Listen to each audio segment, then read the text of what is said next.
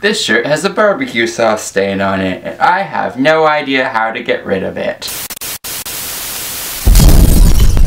Hey there, my name is Jonathan, and welcome to Watching Us Grow. The series slash contest is all about the Just Eyeball It community. Last week, I put out a challenge asking you guys to make videos for this channel, and the results were pretty amazing. Congratulations to Aaron, Joy Blinka, and Pumpkin Sparks. You can check out their videos here in a playlist or in the description box below.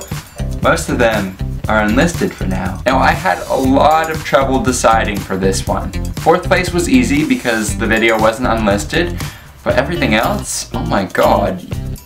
Oh my god. So in third place we have Joy's video, which had Christmas lights and wigs and hats and and I loved it. Now I kind of feel bad about this, so I'm to make it up to you by putting it on the daily vlog channel, if that's okay with you. In second place, we have Pumpkin Sparks, who made a video about Christmas s'mores. This video will be going live right here on Just Eyeball It on December 23rd, so keep an eye out for that. And finally, in first place, we have Balinka's video, which Oh my goodness. First off, I just want to say you didn't have to use the jetpack power-up you would have won this anyway. Belinka dressed up like me, cooked, color corrected, and even had the blinking, flashing frames of death that Final Cut used to put on my videos.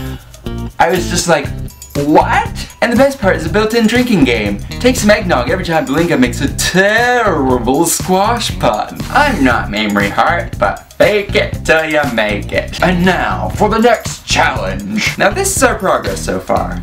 Our goal was to get to a thousand subscribers by Christmas, but with me going to my parents this weekend and the fact that it's in less than 10 days, it probably won't happen. That being said, I'm not going to be a total douche and just cancel the whole contest part. I'm just going to extend it till we actually get to a thousand. I just want to remind everyone that it's not too late to enter and you can still get way up there in the game even if you start now. So without further ado, your next challenge is Christmas themed. It can be a vlog, it can be a recipe, it can even be about how much you hate Christmas. It's gonna be judged on originality and effort, but this time, the point system will be a little bit different. In your video, you will also give your say in what you think the points breakdown should be. Then I will pick one of those at random and use it for this challenge. So Joy might think the first place winner should get 50 points, and Stefan might think they should only get 10 who knows which one will get picked? You can also add some bonus power-ups or make up your own and then I'll draw them and put them in the video. Yeah, so that's the challenge. You guys go do that, okay?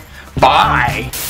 Hello again, that was the challenge, and leave me a comment telling me what you waiting, what you waiting, what you waiting, what you waiting, what you waiting for.